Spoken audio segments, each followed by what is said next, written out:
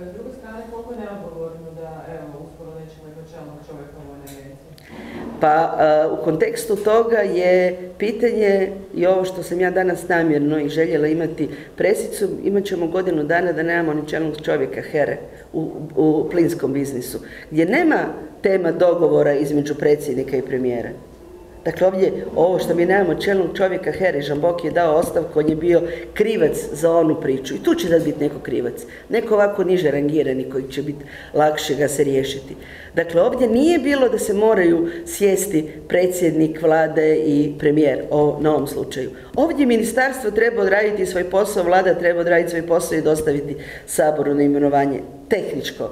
E, mogu dosta i ovako onako imaju većinu ruku i mogu napraviti što hoće. Tako da to da se oni ne mogu sjesti i ne mogu dogovarati, krivnja je uvijek i na jednom i na drugom. Nema tu, to vam je krivnja i na jednom i drugom. Znate, za takav način komunikacije trebaju dvoje, odnosno dvojica.